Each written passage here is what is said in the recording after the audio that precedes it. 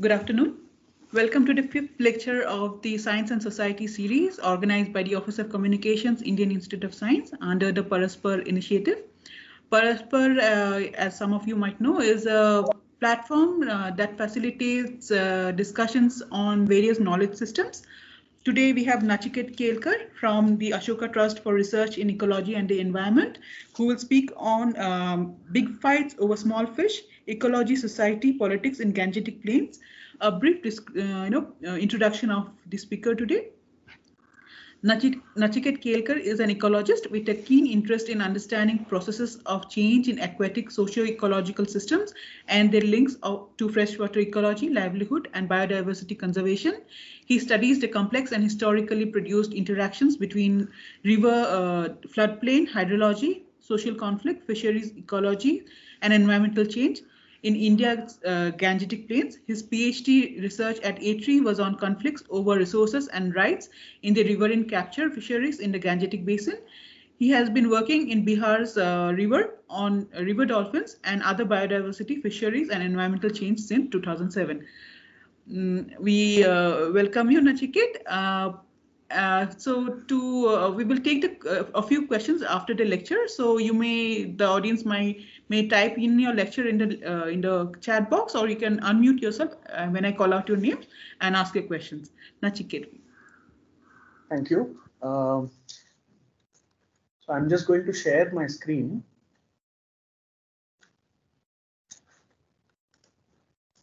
so is it visible? Is the screen visible? Yeah, we can see. Okay. So uh, I thank the Science and Society series Paraspar at IISc for this opportunity to speak today. And I'm basically going to tell a story of, uh, you know, fish, uh, fisheries, river dolphins, and uh, the people that are linked to these systems uh, and these species in the Gangetic Plains.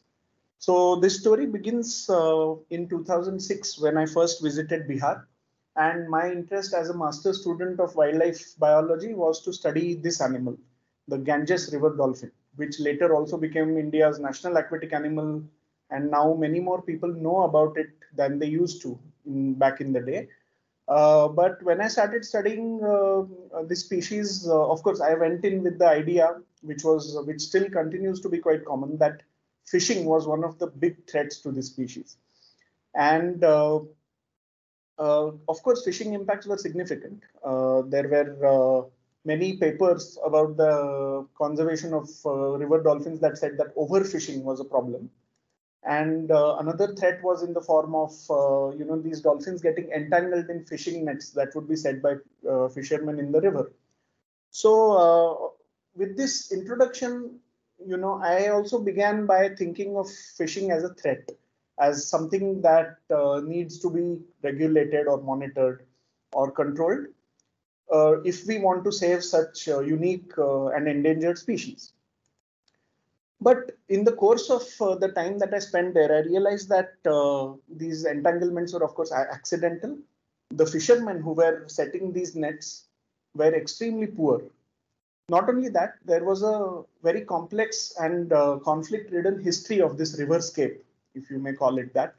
Uh, and uh, you know this this area, the Ganga River in uh, eastern Bihar, used to be the private property of a zamindar family, which was you know so the river was called their Panidari, and this Panidari had existed since the times of Emperor Akbar's control of the region of Bihar or the Suba of Bihar. And in 1604, this uh, family was given the rights to extract rents from the fishermen on this river. Now, believe it or not, but this system continued till 1991 for a total 387 years. These poor fishermen were paying rent. Uh, basically, they were being oppressed by the Zamindar family and their sipahis, you know, or the lathaits, the sort of muscle men that they are, uh, that uh, are kept uh, by them to uh, pay up uh, or part with their fish catches. But in the 1980s, there was a social movement by these fisher, fisher folk called the Ganga Mukti Andolan to free the river from the clutches of this Panidari system. And uh, what happened after that, after 1991, was that the Bihar government, government uh, ended the Panidari system and they made the river free for all or an open access uh, uh, system for everyone to fish in.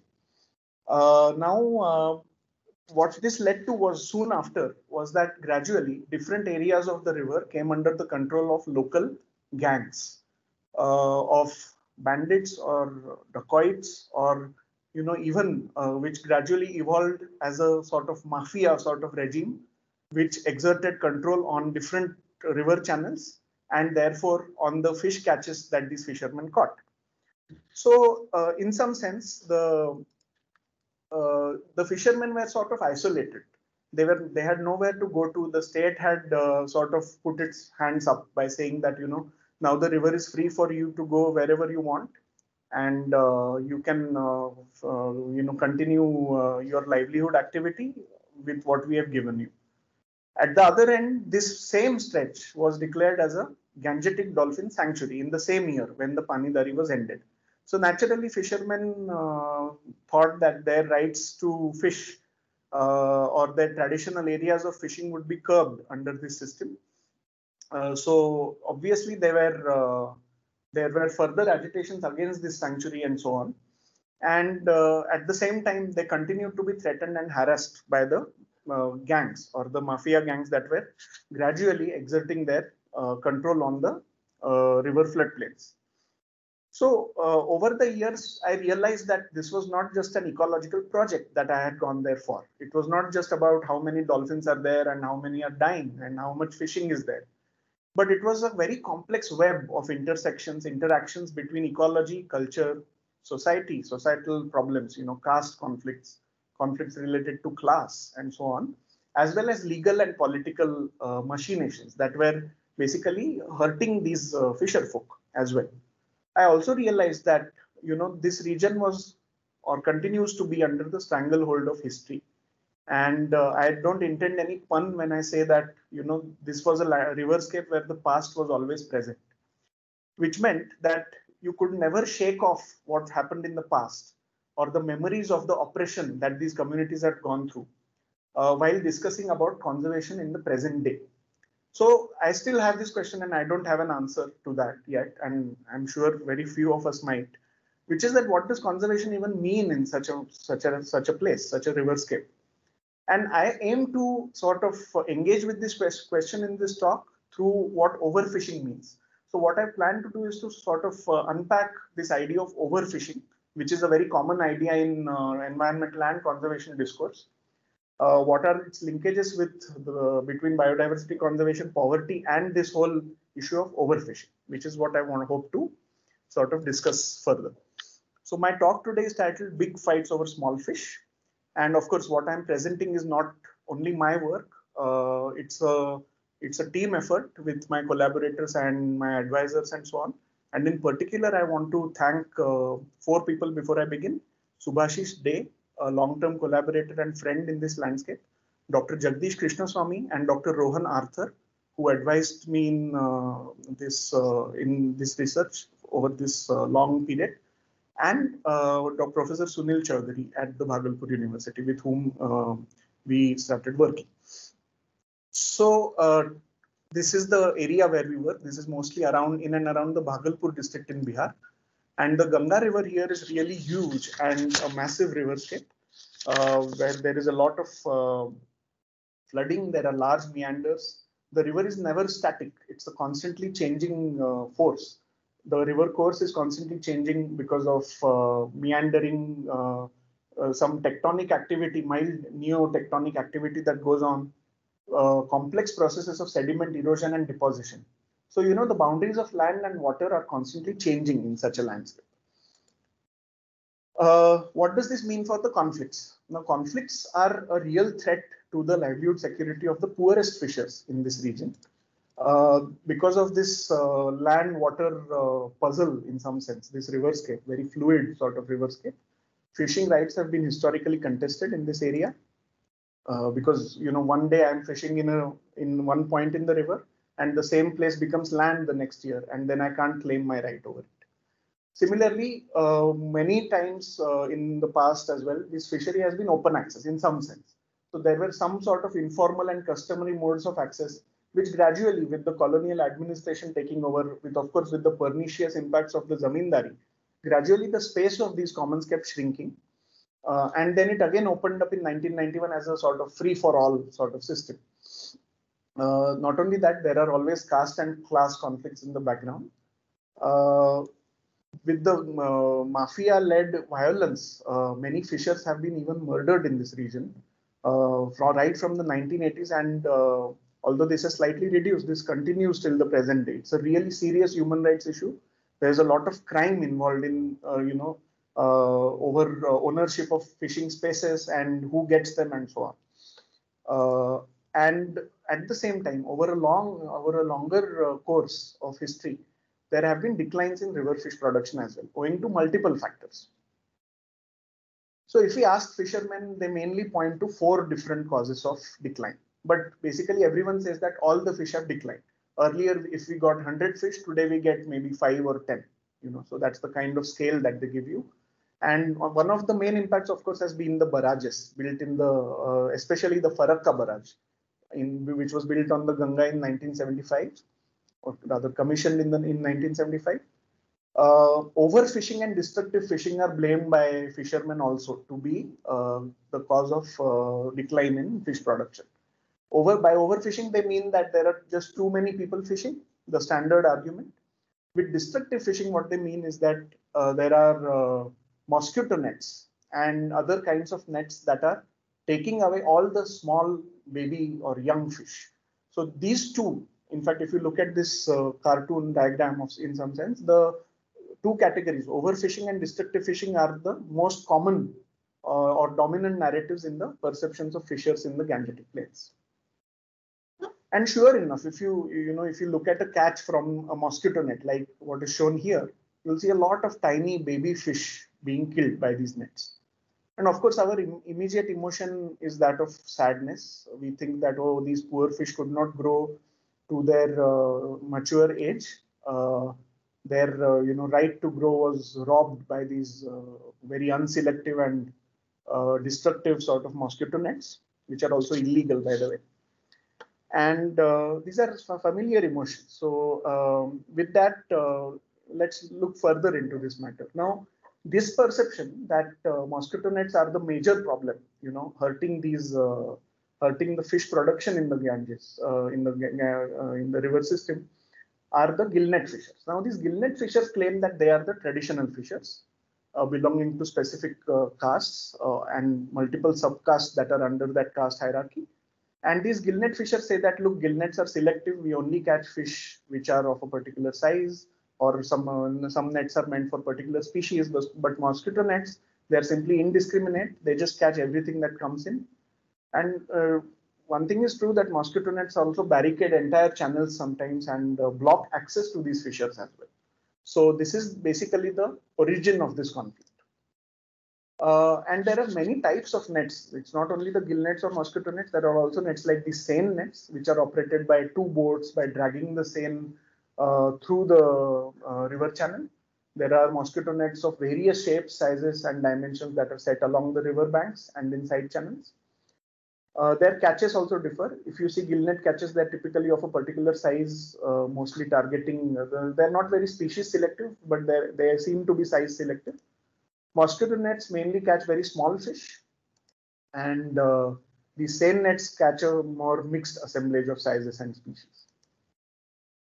So the conflict is essentially between these three fishing groups: gill netters, seine netters, and mosquito net fishers. Now, according to the Bihar Fisheries Management Act of 2006, uh, legal mesh sizes of these nets are those that are above 40 mm in the dimensions of the mesh size. Uh, and not only that, there is also a monsoon fishing ban. Now, these two bans do two different things. One is that the legal mesh sizes above 40 mm are meant for the uh, protection of uh, small fish, you know, or young larval fish, which cannot be caught. Uh, and the monsoon fishing ban uh, which is for protecting the breeding adults because most fish are assumed to breed in the monsoon. Uh, but there is no explicit, if you'll notice, there is no explicit mesh size restriction on the uh, upper side. It's only on the minimum, uh, the 40 mm map. Now, these I already explained that gill nets are used by the poorer and uh, so-called traditional fishers in some sense, and the fine-sized mesh nets or the mosquito nets, which I'm going to call FSMNs for uh, brevity's sake, and uh, these are said to be used by non-traditional fishermen and also under the protection from mafia gangs. Um, in a way, this has come about because these nets are also illegal. But one thing that we need to stop and take a closer look is what are traditional and non-traditional nets really uh, about. So let's go back to the 1870s. And in the 1870s, the British uh, administration uh, created the uh, Fisheries Department, the Imperial Fisheries Department. And they named a man called Francis Day as the Inspector General of this department. Now, Francis Day, what he did was he asked collectors from multiple provinces of British India to contribute the data on the minimum mesh sizes that are actually being used in the different river systems th that they were familiar with. And he got something like 161 or uh, something uh, number of reports of measurements of these minimum mesh sizes. And I have just plotted them here. And if you see, most of these, the minimum, are in the range of 0 to 10 or maybe 15 mm. So these uh, use of very fine mesh nets uh, doesn't seem to be a very recent thing. In fact, it goes back to at least 150 years, maybe even longer. Uh, and from old British accounts by Hamilton and so on, from the early 1800s, it is pretty clear that such very fine sized nets, which could even, according to a collector, catch a mosquito or an ant, could be, uh, I mean, were in use in the Ganga uh, since uh, the early 1800s. Um, so what what was what seems to be going on with the creation of the British, um, uh, you know, the Imperial Fisheries Department was that uh, we see new constructions of the narrative of scarcity and overfishing emerging over here. Uh, Francis Day said that uh, local fishers are responsible for the wanton, reckless, and imprudent exploitation of fish, both young and old. And I'm going to just quote him here, where he says that the size of the mesh is decreased by fishers, wares are augmented, and everything taken, no matter how small, for fishermen never appear to consider from whence the next year's supply is to come. And only the easiest methods are used to catch all the fish. So basically, this view was very common that local fishers have no sense. They are just uh, sort of fishing unsustainably. They just care about getting enough fish for today and they don't care about what is going to happen tomorrow. Note that at the same time, uh, by the 1850s, the British uh, sort of transformation of the hydrological uh, characteristics of the Gangetic Plains had already set in. So canals were being built, weirs were being built, huge embankments were being built, which had also had a major impact on the total fisheries production. But instead of the environment, the narrative of overfishing was the easier one. It was also the more convenient one to police or to bring people under the control of the empire what was interesting was that when uh, Francis Day uh, produced a report, um, a huge report, in fact, a 700 page report on how we should bring in net mesh size restrictions. Uh, we need laws to regulate the fishing uh, because all the fishing that is going on seems to be unsustainable, etc. There were intense debates. And many provincial collectors and other officials uh, gave nine different types of rebuttals. Some said that you know these poor people have always fished small fish. Uh, so it seems a traditional thing. So who are we to come and uh, oppose them? Secondly, many people said that it's simply impractical to in, enforce these mesh size restrictions. Some people even said that uh, you know small fish are meant to be taken by the large fish. In this case, their predators are the people. So who are we to interfere with this divine law of nature, etc. Uh, so what this led to was the passage of the um, uh, in Indian Fisheries Act in 1897, and of course Francis Day prevailed over all these debates. He said that no, no, I believe that minimum mesh size restrictions are critical, and they were enforced. It also set the tone of overfishing until the present day, I would say.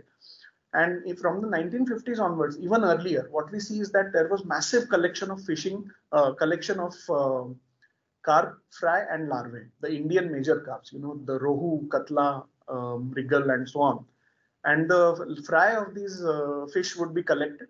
So basically rivers were treated as spawn banks because they could contribute all these uh, larval and fry fish to aquaculture, which was supposed to be developed.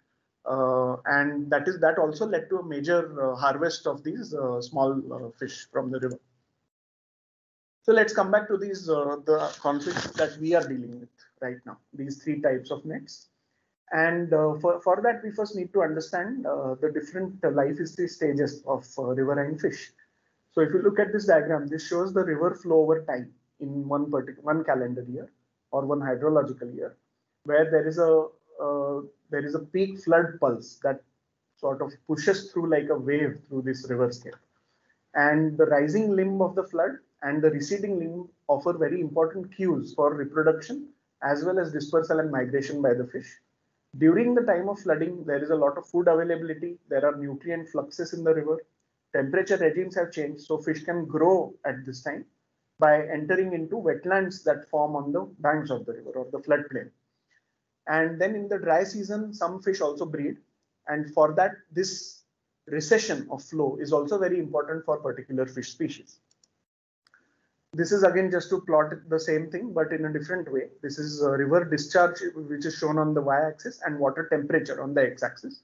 So you will see that different fish species have different life history strategies. They have been plotted here according to which cues they use for their reproduction. So some, some of these are early monsoon breeders, some of these are late monsoon breeders, some of these are dry season breeders. Accordingly, there is a fishing calendar as well, which people follow to harvest these different fish. Now, what this leads to is that these uh, mosquito nets and seine nets and the gill nets interact in very close spatial proximity with, with each other. So some of it you can see in these red areas here, where most of this fishing is concentrated. And in the side channels of rivers, which are these inlets going here all the way, you see that uh, these uh, mosquito nets and seine nets are mostly employed. Mosquito nets are also employed along the banks of the main river, like it's shown here. And the white dots, which are the gill nets, are kind of used throughout the river, but mostly in the main channel, not in the side channels.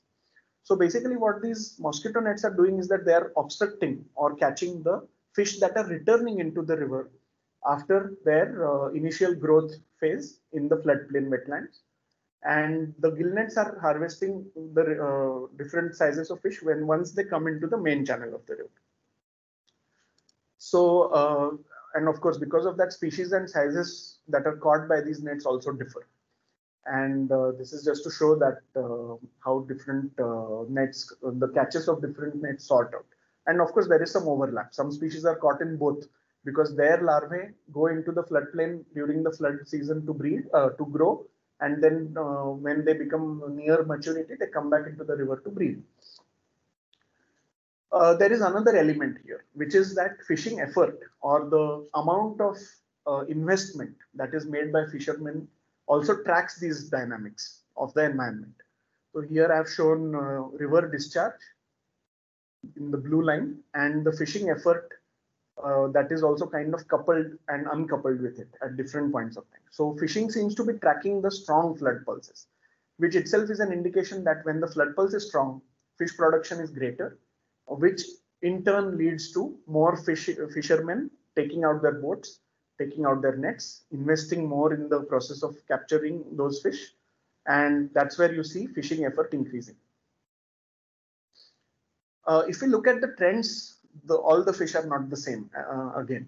What we see is that for catfish and for perciform fishes, uh, which are a type of uh, fish, we don't see any consistent trend. So in, spite of so much, uh, you know, change in river flow, change in fishing effort, um, maybe some local pollution as well, all those factors, we don't see these fish to really respond to that. Shrimps, however, we see a major decline, which is also a combination of various factors. Carps declines, show declines in the dry season and clupeid fishes, which are the river shads, you know, of which the famous fish Hilsa is an example. They show a decline during the monsoon period, uh, these species. So again, across groups, there is a lot of variability here.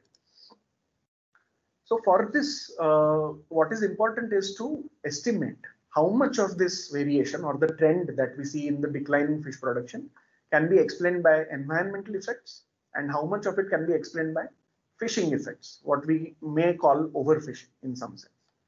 So to do this, uh, the basic concept is that of natural mortality and fishing mortality. And uh, fishing mortality is essentially the um, proportion of fish that's taken out because of fishing and all other factors, whether they're environmental, whether they're related to recruitment from one stage to the other, or whether they're related to natural mortality due to predation or environmental fluctuations, that is all covered under natural mortality. And the ratio of fishing mortality to natural mortality can give us an idea of the effect of fishing relative to all the non, uh, I mean, non-anthropogenic effects or the biological and uh, environmental effects. At the same time, we can also look at how yield changes as you increase or as uh, at greater fishing effort or fishing mortality. Now, all these things look complex and I'm not going to get into the technical details of this. All it means is if we want to think of a system uh, in terms of the overfishing limits, uh, can we look at at what amount of or what number of people fishing do we see a decline in the yield? And for that, I benefited very much from the long-term monitoring work that was being conducted by my collaborators and in which I later joined. And now we have a 20-year time series to actually look at these changes. And based on the statistical and mathematical analysis of this time series is what I'm going to present in the coming slides uh, without, without getting into too many technical details. Uh, so if we wanted to summarize, uh, you know, based on the long-term trends, how many fish were impacted by environmental fluctuations and how many by fishing impacts. This is what it looks like. So on the x-axis, you have the ratio of fishing mortality to natural mortality, which means the impact of fishing relative to the environmental fluctuations or environmental impacts. And on the y-axis, we have ratio of fishing mortality to the fishing mortality at the maximum possible sustainable yield. Now, if this ratio is uh, 1, or that means that the fishing mortality is already close to the maximum sustainable yield, uh, that means overfishing impacts are likely above that threshold. Below that threshold, there, there is still some scope to fish. Whereas if uh, fishing mortality is equal to natural mortality or greater, that means that fishing is clearly dominating over the environmental effects. So basically A, oh, sorry, uh, A and D show where environmental impacts are mainly affecting fish production uh, relatively. Uh, A is where both environmental and fishing impacts seem to be adding on. B is where overfishing impacts seem to be dominating. C is where overfishing effects are seen, but species are still likely to recover if environmental conditions improve. So what we see here is that most of the fish, except a few large species, are highly sensitive to environmental fluctuations. That is basically the one take-home message of this graph. Uh, so after fishing effort, we also need to look at how selectivity or the uh, sizes that are selected by different gears, how that kicks in, in explaining the trends of decline.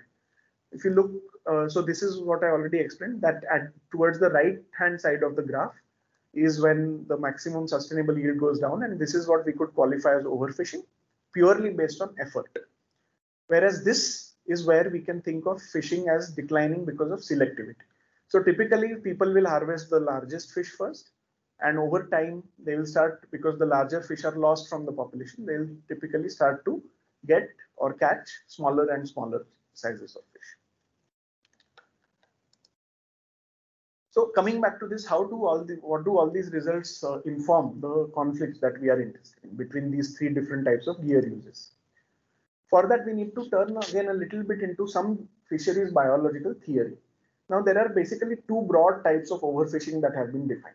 One is called growth overfishing, which means catching fish when they are too young, for example, what mosquito nets do, or recruitment overfishing, which is uh, catching breeding fish, uh, which is typically what the larger gill nets do.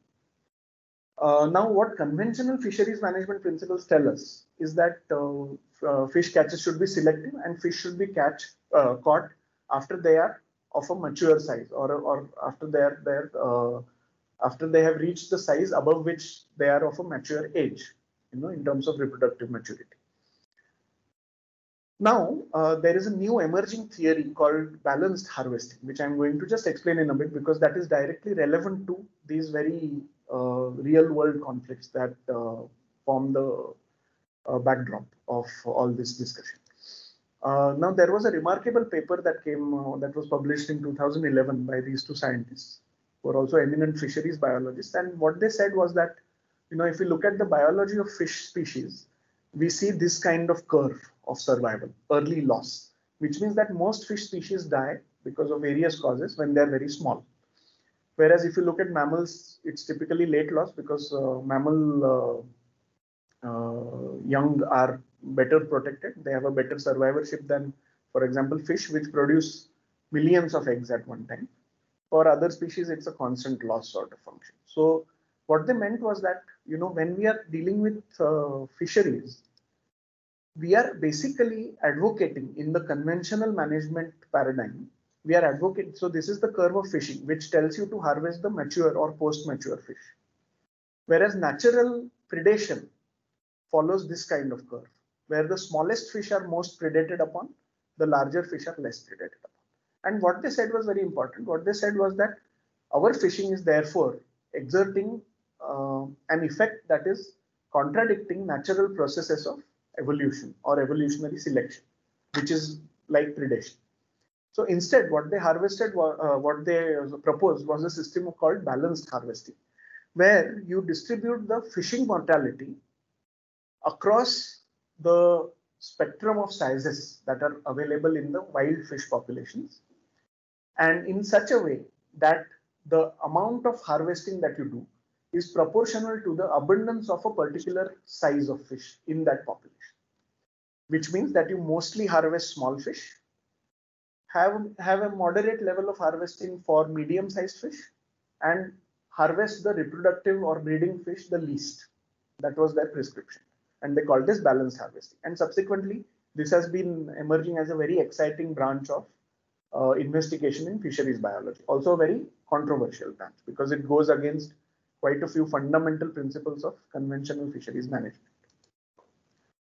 Coming back to the Ganga, what we see is that this is so I, what I have shown here is the variation in the sizes of fish with respect to the different net mesh sizes that are used. So to the left of this line are all the illegal nets, to the right are all the legal nets. Now, surprisingly, what you will see is that all these small nets are actually quite selective as compared to these large and legal nets. So basically the uh, legal nets are uh, relatively less selective than the illegal nets. Uh, what we also saw, what we also see is that nearly 85% of all the current fishing is by nets that are below 40 mm, which means that you take any gill net or you take a mosquito net or seine net that people are using in the river, or you ask any fisherman, there is a 85% chance that he or the, that fisherman is using an illegal net as per the definition of the Bihar uh, Fisheries Management Act. So obviously small fishes are the main targets of most of this fishing effort, as we can see here. Now, if we, uh, we, we all know that as uh, fish grow bigger uh, in their age, uh, their length also increases. Uh, so from the length, we can calculate how much, what is the proportion of different ages of fish that are caught in these nets. And of course, from our uh, long-term data, we could plot these trends for about 60 species of fish. What we see here is that most fish show the, uh, I mean, the red line here shows the age at maturity. What it shows is that most of the catch is dominated by premature or immature fish. A smaller proportion is uh, that is caught is of mature fish. In fact, if you see this kind of resembles, although not exactly, but kind of resembles the balanced harvesting state or the curve that is uh, expected by balanced harvesting what we see is that out of 60 species, most species catches, catches showed very high productivity. Profile was similar to the balanced harvesting state. Uh, I'm just going to summarize. So what does this actually mean for conflicts? All this uh, stuff about how much uh, proportion of fish is caught at what age. This is important because this should reflect in the trends of fish seen in different nets.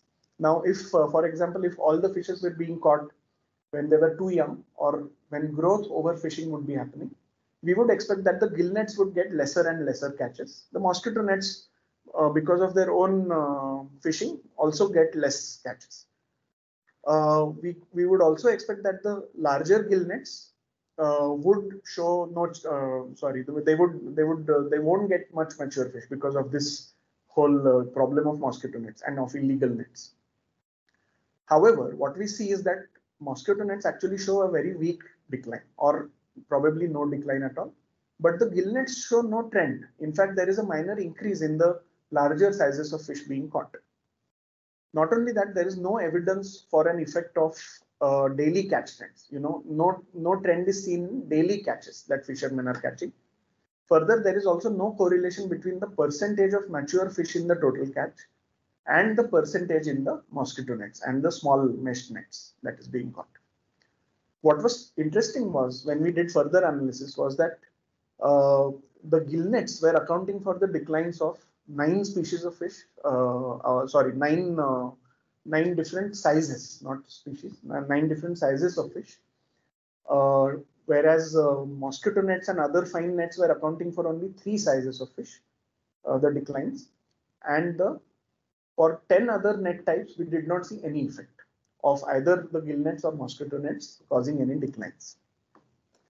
Uh, and again, uh, when we did some mathematical modeling of all these data and based on uh, you know life history parameters taken from fish, what we found is that uh, most species showed stable trends, even if the fishing mortality of immature fish was over double than that of mature fish, which means that if you have a catch, which you call a hundred percent, even if mosquito net catches were up to 70% and those of gill nets were only 30%, the fish over time did not show any changes or trends in its abundance or its production. We also saw that fishing of adults had more consistently negative effects than the fishing of juveniles. And this mimics the process that has been characterized as fishing down the size spectrum, which means that uh, over time, the sizes of the large fish that are being caught should reduce, which we see here for most species. We see that uh, because the selling prices of these fish are driven by size. The larger the fish, the more price they fetch per kilo. So this has led to a process of fishing down and as per what I spoke of earlier, we are now getting smaller and smaller fish as a whole in this system. Uh, to summarize, what we see is that larger and mature fish of high economic value, carp and catfish, which are shown over here, were the ones which were caught in both mosquito nets and gill nets, and they were showing a decline. Now, this decline is shown in terms of what was the contribution of fishing mortality to the total mortality. If it was above 50%, we call we could call them overfished. Uh, and all these species, which were caught mostly in small gill nets and mosquito nets and other fine nets, or by hook lines, etc., were all not overfished. So this uh, story sort of brings me to my broad conclusions. Now we saw that uh, all these gears, whether it were very fine uh, size mesh nets, uh, mosquito nets, seine nets, or small gill nets, etc., or traps, they have been in use for nearly 200 years. So based on the history of the use of these gears, what can we say? Which one is traditional? There is no clear answer to that. Maybe all are traditional or none of them are traditional because now nylon has replaced many of these gears as the main material and nylon is really tough. So uh, these nets are hard to break. Probably the effort that they exert on the whole uh, fish populations is much larger and much uh, worse than the earlier nets. So either all fishing is traditional or all the fishing that is going on today is not traditional. If you include unless somebody wants to call nylon as tradition because that is also that has also been around for 50 years. Uh, secondly, what we see interestingly is that there is a di divergence between the perceptions of fishers and the actual ecological evidence. Now, if we go by the original perception of the poorer fishers, the traditional, the gill net using fishers, uh, that mosquito nets are at the root of all the problems that they face, then the ecological evidence for that is absent from all the detailed uh, work that uh, I tried to summarize, uh, we don't find any clear evidence indicating the involvement of mosquito nets. In fact, the gill nets that are used by the traditional fishers might have a slightly larger impact on because they harvest the breeding fish. So what this, uh, what we can say based on this is that the legal gill nets used by poorer fishers had greater negative impacts on fish catches than the illegal gill nets and um, mosquito nets that were being promoted or used by under the control of these gangs. However, both fishing, both sorts of fishing together, which were of course unregulated because you know if so many illegal nets are operating, that means this fishing is quite unregulated. This unregulated fishing by both the groups was leading you to a balanced harvesting state. And probably that explains why we don't see any major trends in most species. Of course, some species, some fish species have gone, uh, but those are very few in number, and most of them are probably due to environmental impacts, but not exactly due to fishing.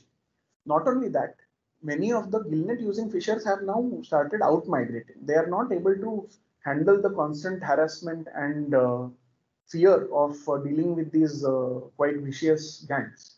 So many of them have moved out of fishing, and that probably results in uh, this kind of state where both kinds of fishing are actually maintaining the fish, uh, existing or dominant fish species in a fairly stable trend. What the, these results point to is the is that we need adaptive management. We also need changes to the existing laws minimum mesh sizes are there, which are important, but we also need maximum mesh sizes, perhaps. Uh, we also need species and size specific rules, probably. So we need a lot more uh, detail because this fishery is really complex and simply blanket bans based on minimum mesh sizes may not work. Uh, so this leads me to my final slide and these are just some thoughts that I want to share and these are related to the complex trade-offs that are involved in managing such a fisheries are illegal fisheries always damaging to fishery sustainability just because they were made illegal because of some old uh, act, you know, or the uh, sort of legacy that was set by that act? What is the meaning of illegal here at large? Further, are the fisheries that we consider traditional, are they always ecologically benign? Because that is an assumption that is very dear to many, not only conservationists, but also, uh, you know, community activists that if you are traditional, you're basically uh, like a noble savage. You uh, uh, you won't have as much of an impact. But is this really true? And this points to conflicts between normative goals. So as I have shown here, uh, if you are harvesting a certain kind of fish, you're uh, and if you're declared uh, deemed illegal, what is our ultimate normative goal? That is what matters. Is our goal to maintain fishing as per the law? Is our goal to ensure that the poorer fishers get enough fish and are not harassed by these gangs? Or is our aim that the only the sustainability of uh, fisheries uh, in terms of revenue and fish production, and we don't care about the issues of social justice that are uh, uh coming along?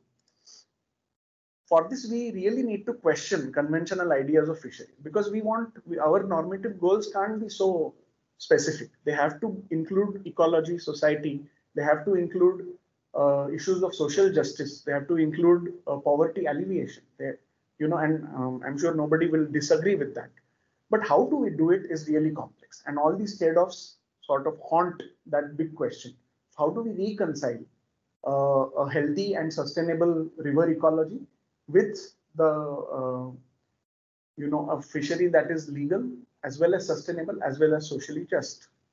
And that is our policy challenge how do we implement such a balanced harvesting regime in this kind of system? Because clearly at present, the balanced harvesting regime seems to exist, exist because of a lot of illegal fishing. Finally, uh, in terms of our conservation question, we need to revisit three important assumptions, which I think as conservationists we tend to make too often. The first is the narrative of Malthusian overfishing that there are just too many fishers. So you know, if a if a person, if a conservationist is, is conservationist is interested in a particular species or protecting that species, they only see overfishing around, even if it's by five fishermen. Uh, it's a very uh, deep impact, you know, and we really need to bring ourselves out of it to engage with these kinds of complexities. Secondly, we often tend to believe that the law knows everything. The law is right always and clearly, in such a complex system, we again need to question the origins of the law. Where did the law really come from? What was the history behind passing that law? Why does it still continue without enough critical re-evaluation, for example? And of course, finally, uh, the favorite trope that traditional uh, traditional practices are always by default eco-friendly. They may not be. Coming back to where we started, what about the river dolphin in all this? Uh, the question then becomes if fishing is such a threat, then uh, and from what I said, can dolphins actually survive when illegal fishing is allowed? So if mosquito nets are in the river, uh, are dolphins going to live there?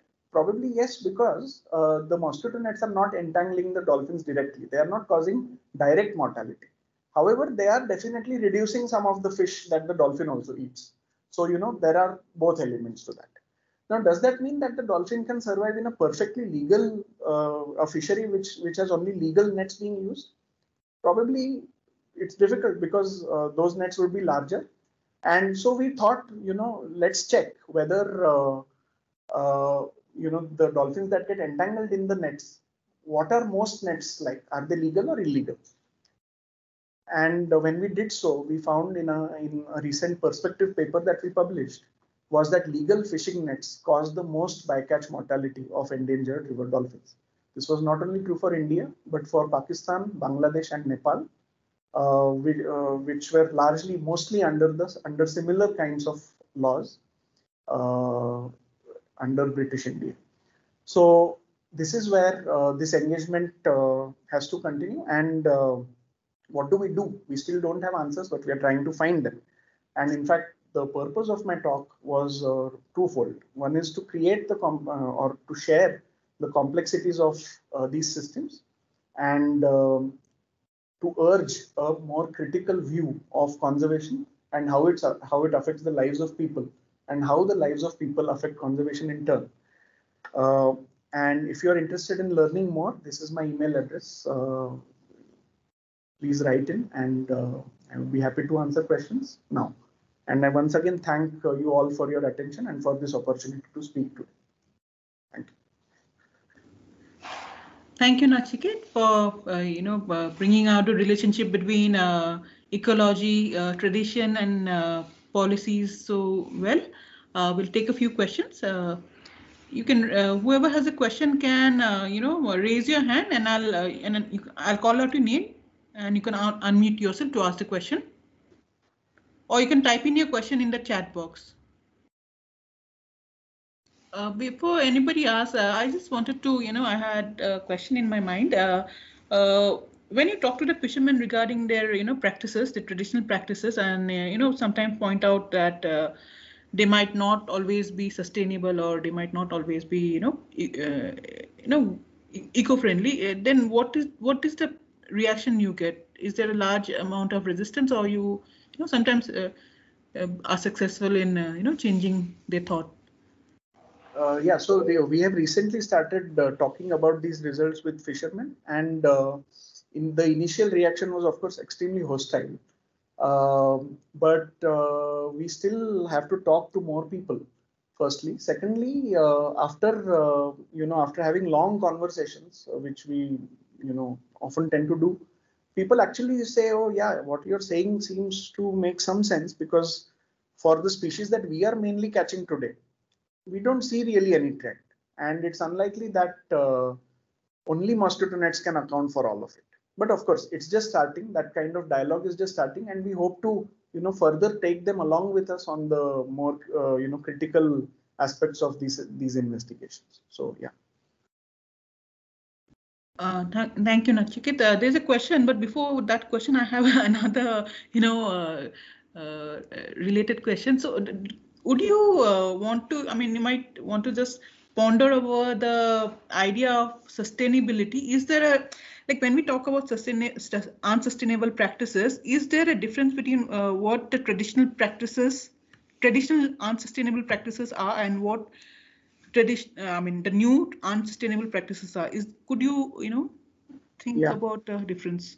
Yeah thanks. That's that's a really interesting question because um, both in the traditional uh, practices and the new practices there are sustainable as well as unsustainable practices.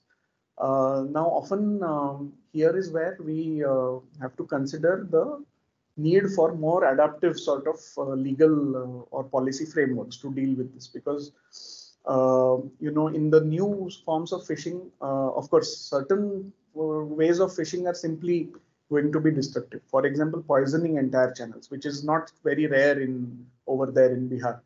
Uh, that kind of practice is definitely going to be unsustainable. Whereas fishing with uh, with, with a particular intermediate mesh size, which ends up catching uh, you know some uh, near maturity fish and some immature fish, might actually not be a bad idea. So and that might change again with species.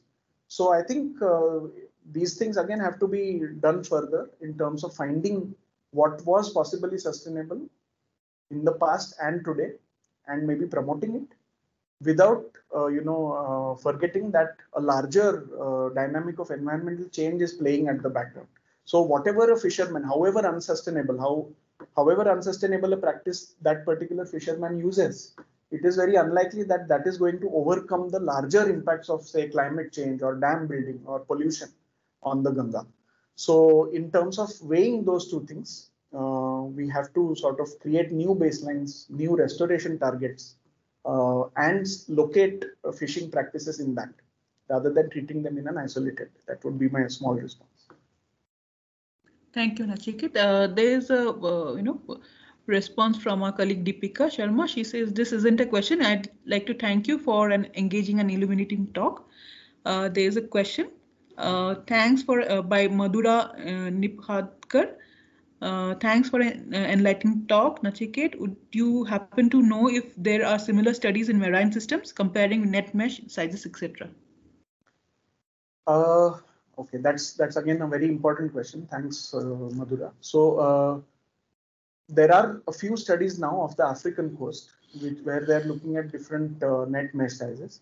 Now, I just want to share an interesting in, aside here, which is that you know the whole theory of balanced harvesting originated in Africa in the sense that these biologists were actually looking at small scale fisheries, capture fisheries in tropical freshwater systems in Africa, whether we're in the African Great Lakes or in the uh, some river systems of Africa.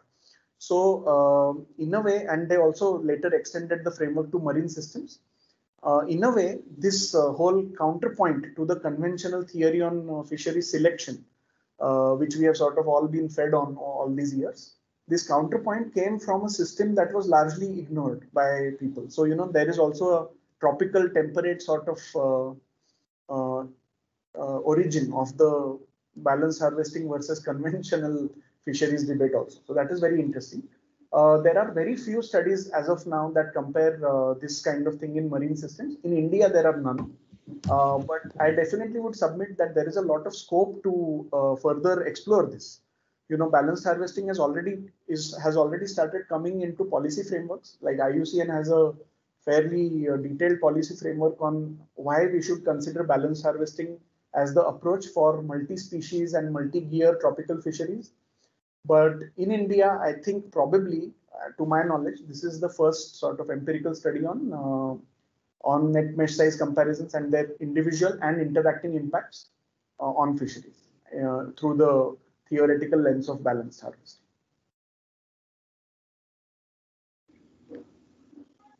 Uh, hi, Vitasta and Nachiket. I had a question. I'm Samira. Yeah, go yeah. on, Samira. Hi, Nachiket. Uh, thanks for a great talk. I just wondered if there have been similar studies down south in non-perennial river systems like the Kaveri, um, and if you think for if you this might be a naive question. If you think it might you know the systems might be very different here. We've heard of dynamite fishing uh, in some parts of the kaveri for example. Yeah.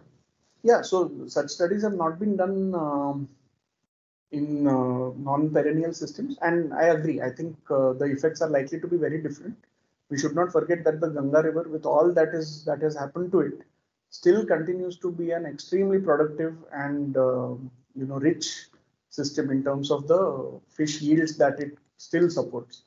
We compared to a river like the Kaveri, that is true. Secondly, dynamite fishing, uh, of course, luckily it doesn't take place that much in Bihar, maybe hardly. Uh, but down south, that is a really big threat, and uh, there is definitely a need to study it. Uh, the impacts are likely to be mostly negative. So that that clearly goes beyond the sort of sustainability threshold. But again, how do we define the sustainability um, sustainability threshold? Needs some very focused empirical investigation. I am not aware of uh, many such uh, down south. Maybe Thanks, in the estuaries, but not so much in the along the uh, inland uh, rivers. Thanks. Perhaps uh, if you know if there were some British records like for the Ganga, I don't know if Hmm. there exists for the Kaveri. Ah, that that is there. So, for example, when I was pointing to the rebuttals that were received by Francis Day, in fact, one of the strongest rebuttals against his proposal for mesh size restrictions came from the collector of Mysore, Thomas, in 1870, who said that you know the, the capture of these small fish during the monsoon season is extremely important to the people and uh, that doesn't seem to really make a difference to the fish because they are anyway going to get killed. He was talking about the Kaveri and the connecting river channels, of course, and um quite a vehement argument to not implement that mesh size restriction proposal came from there. Right. That's super interesting. Thanks, Nachiket.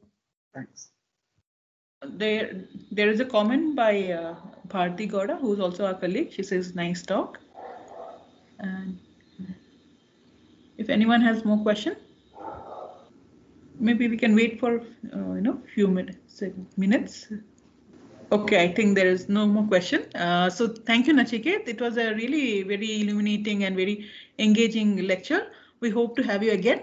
Thank you so much and all the best for your work. Thank you very much. Thank you. See you again.